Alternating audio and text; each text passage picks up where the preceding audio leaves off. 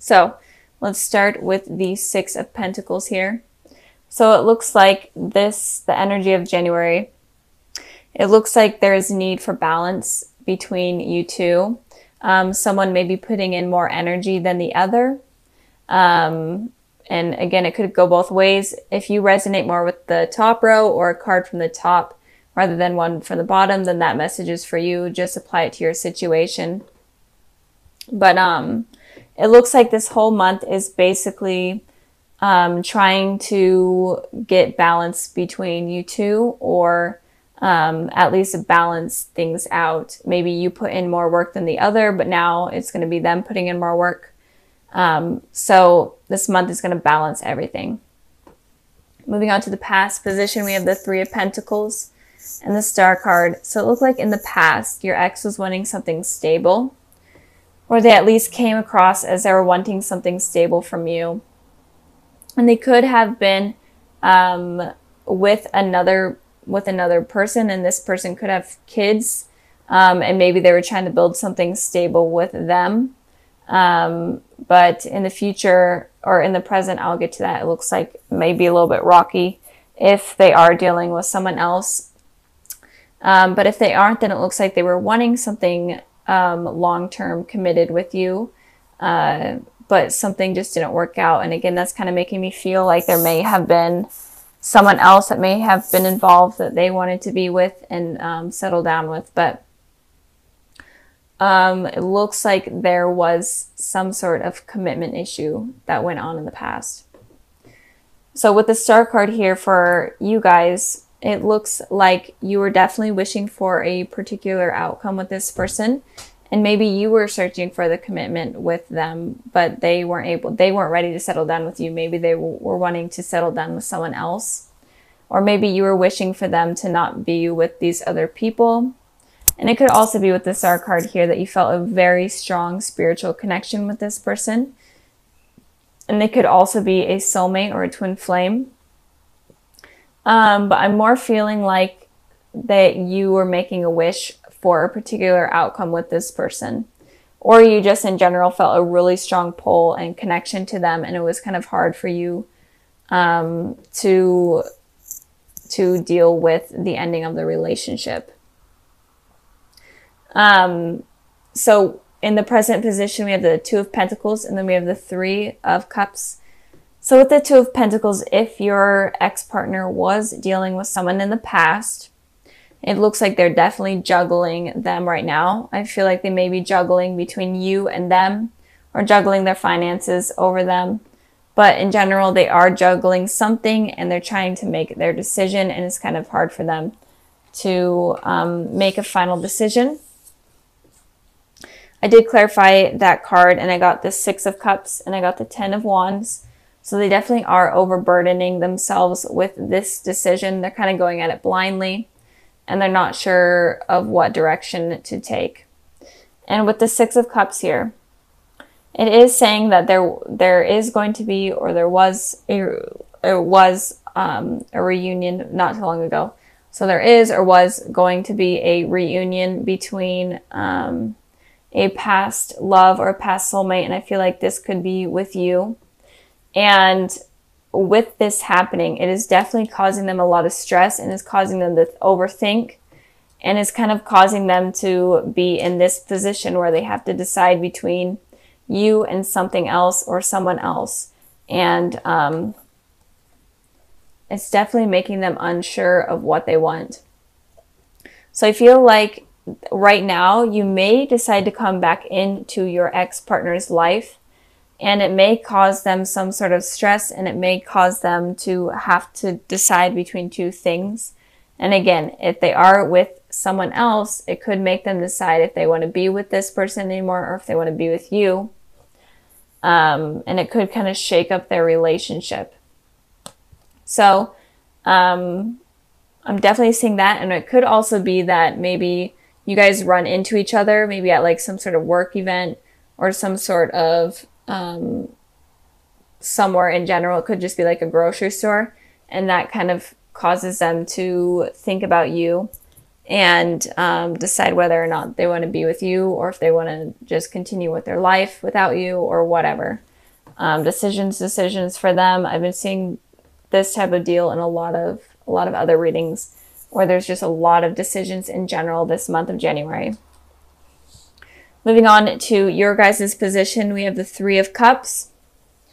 So, Three of Cups is definitely talking about a reunion happening, especially with old friends or old flames um, type of deal. And it could also be that you come a, come into a third party type of deal, third party situation.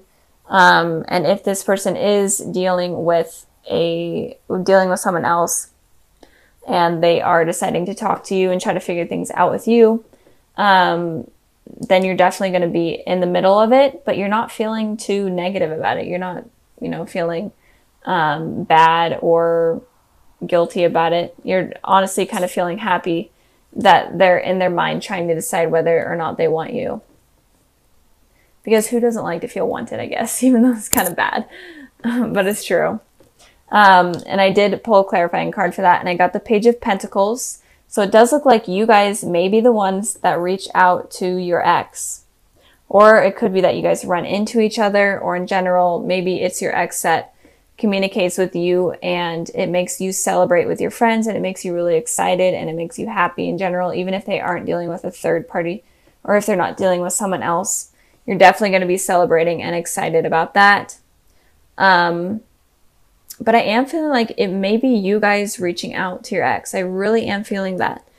So if you are, be prepared for maybe them being in, in a relationship and be prepared for them to kind of be in their mind a lot and having to decide.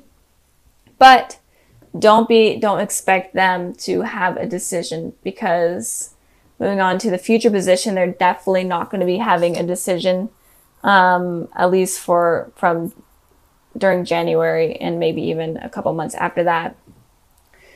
So we have two fours here.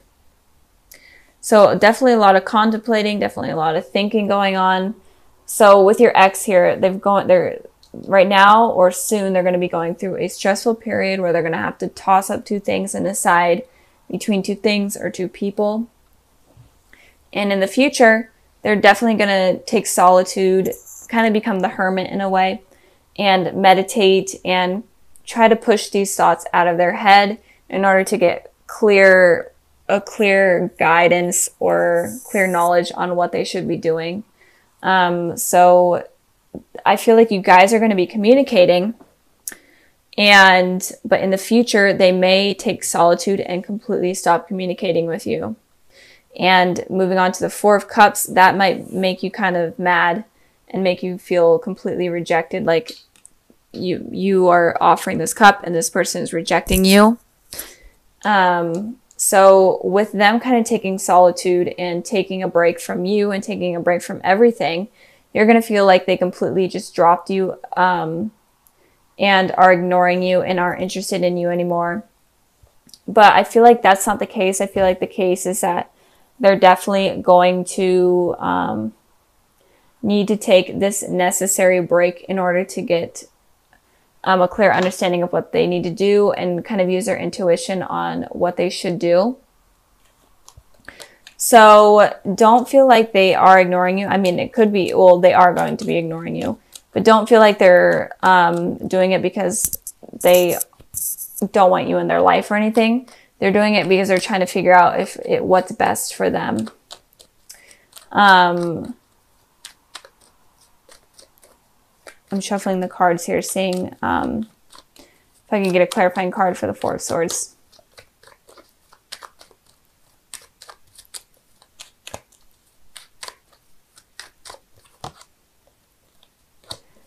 So yeah, they're definitely going to be taking solitude because first of all, they don't want to be, um, they don't want to cheat. They especially don't want to cheat on the person that they're with and um, and they're needing to they don't want to lie they don't want to be deceitful.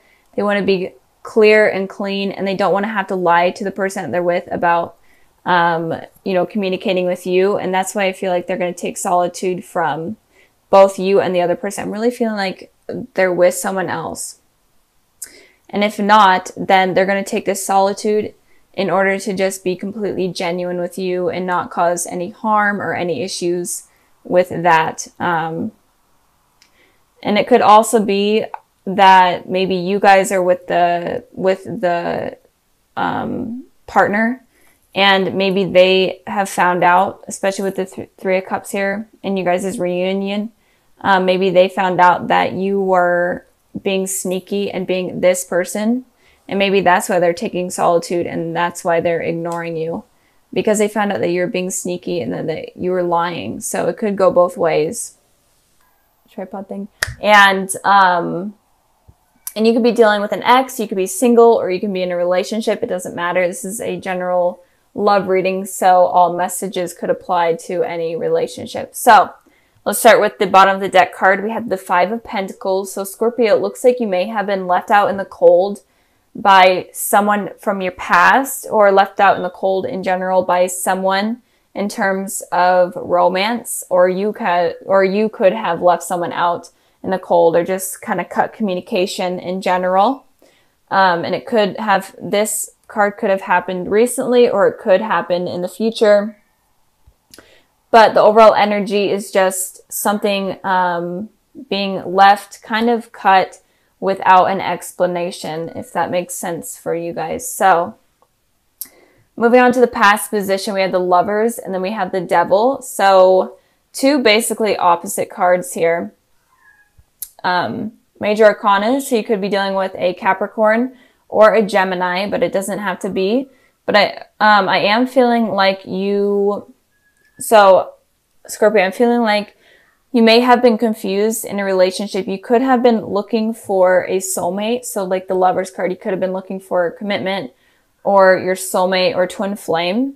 But in, but in return, you get this toxic person um, that is like a karmic soulmate. So they're a lesson to you and not your true soulmate or not your true twin flame. They're kind of someone that was very toxic in your life. They could have been cheaters, manipulators, liars. And again, this could be your energy as well. So maybe you were this toxic person to someone else. Maybe you cheated on someone else. Um, but I am feeling like you were searching for a soulmate but in turn you got this toxic person. And it could be because you are looking for the wrong type of people or you're attracting the same type of people into your life um, because of insecurities and because of fears and what has happened in the past. This is kind of similar to what has happened um, to Libras, I'm feeling. So if you are dealing with a Libra, you may want to watch that video or if you have Libra in your chart. But I am feeling like you really were trying to, or maybe you, honestly, maybe you were involved with two people and one of them was a soulmate and then one of them was a karmic soulmate or a false soulmate.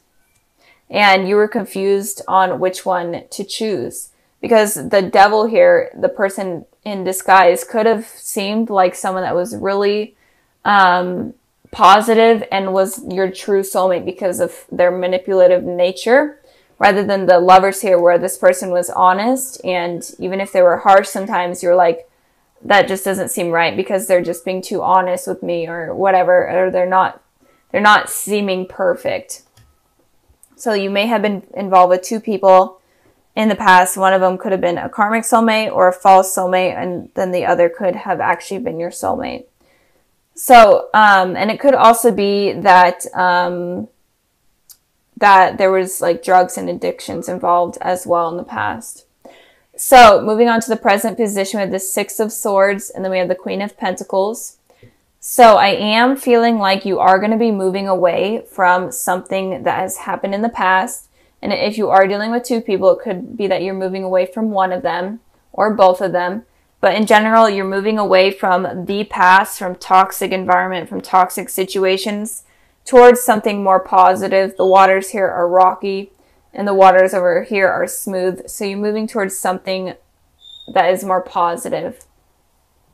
With the Queen of Pentacles here, it's showing that you're looking for something stable and um, where you can be yourself and truly feel at home and comfort comfortable within yourself and maybe even with someone else. And it could be that you're mainly just trying to focus on you because of what has happened in the past in relationships.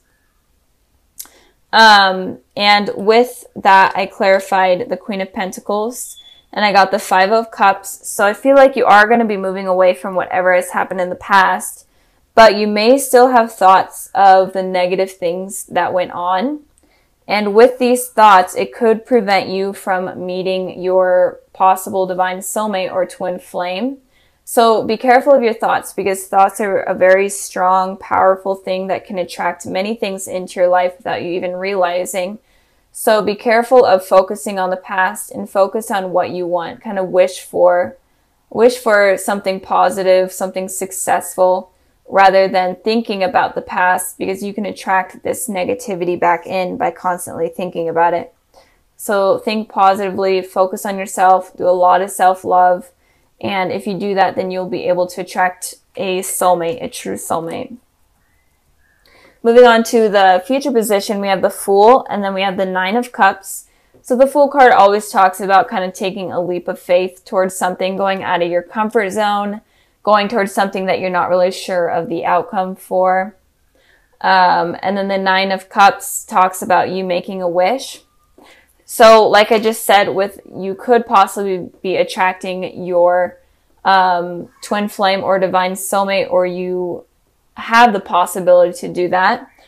So, if you are wanting to, I feel like you need to take a leap of faith in terms of love. Go after things that you're not normally used to going after. Going go after um, new people, experience new things, go to new places, and with the doing that, you may meet someone that is a very a very healthy relationship and someone that is very um, beneficial to you. And don't be afraid to wish for what you want. Don't be afraid to manifest positive things into your life.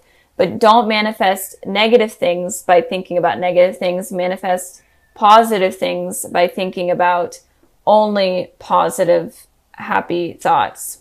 Because I feel like you have a lot of you have a lot of power in terms of law of attraction and in terms of manifestation. So if you want someone positive and you want a true soulmate, then you're able to do it.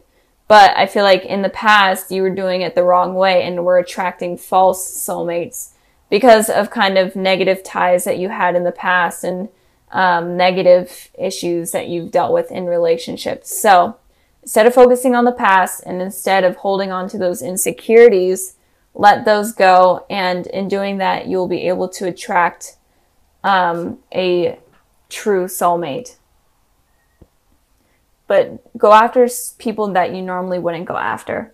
I feel like that's kind of like a huge, um, a huge message for almost all of the signs is if relationships weren't working out for you, then go after people that you normally would never even think about going after. So, the cards I pulled for kind of your February sneak peek, I got the Eight of Cups, the Five of Wands, and then the Temperance. So I feel like you're definitely going to be walking away from conflict, from anything from your past, which is good. And um, you're going to be walking away from kind of toxic thoughts, um, or thoughts in general that are clouding your judgment and are causing you conflict within yourself. I feel like you are going to be walking away from that, but you're not going to be fully walking away from that. So be careful of going back to this person where you're focusing on the past. So be careful of that. But I am feeling like you're moving your way towards, um, towards the future into something more positive. With the temperance here, I feel like once you take this journey away from this conflict um, within yourself and conflict with anyone in your past, I feel like you're able to attract someone that um, is very beneficial to you with the temperance here. It could be so- someone from your past. That someone from your past is would be someone that is um, going to provide a healthy relationship, not a toxic one. Um, so it could be someone from like your childhood or someone from school in general. You don't have to be in a relationship with them or you didn't have to have been in a relationship with them, but it's just, it could be someone from your past. Or it could, in general, just be the higher power allowing you um, kind of a second chance in love. They're wanting you to find your soulmate. They're wanting you to be happy. So once you take this journey, then you'll be able to get this new love in that is going to be very beneficial to you.